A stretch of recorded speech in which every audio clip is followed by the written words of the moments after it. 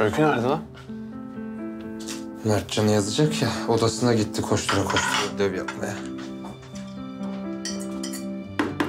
En yakın arkadaşımla ben birbirimize çok benzeriz. İkimiz de aynı şeylere kızar, aynı şeylere güleriz. Çok iyi anlaşırız. Ben ona her şeyimi anlatırım. Birbirimize hiç yalan söylemeyiz. Benim en yakın arkadaşım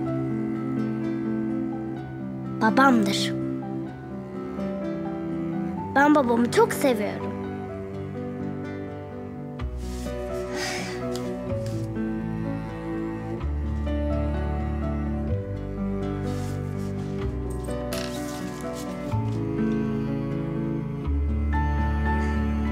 Çok şaşıracak okuyunca.